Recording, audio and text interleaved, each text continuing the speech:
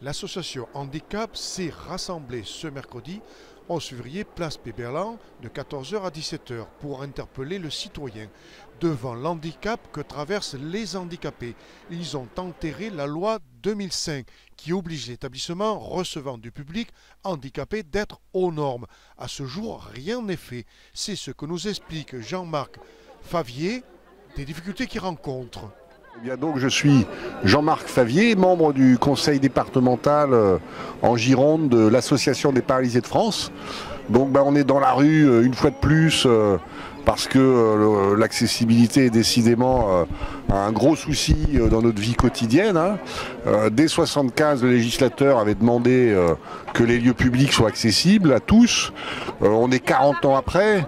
En 2005, la loi du 11 février, donc on, célèbre les 10 ans de cette loi aujourd'hui. Hein. La loi du 11 février 2005 avait donné 10 ans pour la mise en accessibilité de tous les lieux publics et de tous les transports publics.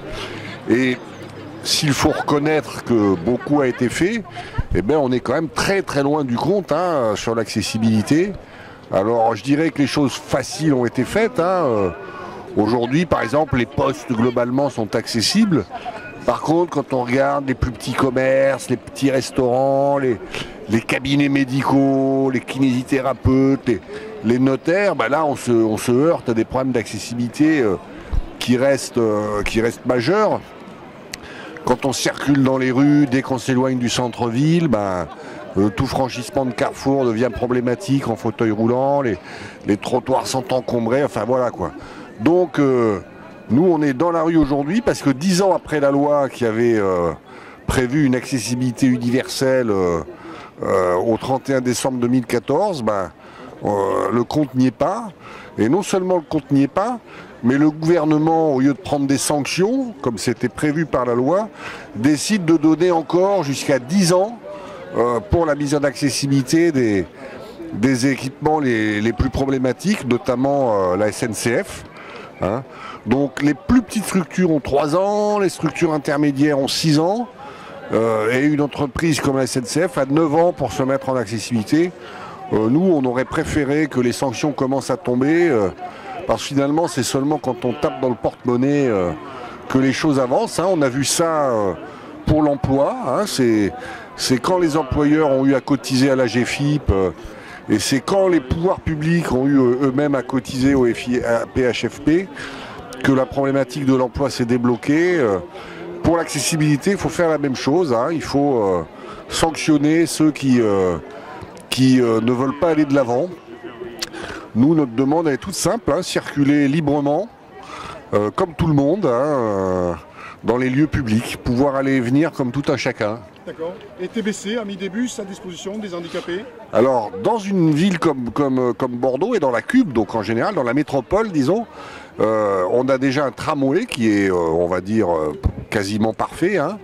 Côté bus, bah, les choses ont bien bien avancé puisqu'on a, disons, une, grosse majorité des, des bus qui sont maintenant accessibles. Les arrêts, c'est moins avancé, mais peu à peu, tous les arrêts de bus sont mis en accessibilité. Donc on peut espérer à l'horizon 2-3 ans avoir un, avoir un réseau de bus totalement accessible. Donc ça, c'est effectivement un, un, très bon point pour la, pour la métropole. Et la ministre Marisol Touré, qu'est-ce qu'elle pense de cette situation? Eh bien écoutez, elle, euh, elle est désolée parce que je pense qu'au fond d'elle-même, euh, elle trouve qu'on a raison, mais elle ne peut pas évidemment euh, le dire tout de go. Le, gouvernement a pris cette décision de faire des ordonnances hein, pour repousser encore les échéances de l'accessibilité. Bah, elle est bien obligée de soutenir la position de son gouvernement. bon 40 ans depuis 75, 10 ans depuis 2005, on devrait être plus loin. Hein. donc il faut, euh, se décider quand même à sanctionner ceux qui ont mettre le plus de mauvaise volonté. Est-ce que vous êtes dans la rue pour alerter l'opinion publique alors, alors notre idée, c'est effectivement de, de, convaincre nos concitoyens euh, que notre revendication n'est pas une, une revendication d'enfants gâtés, hein, mais, que, mais que la solidarité doit bien s'exercer euh, pour l'accessibilité.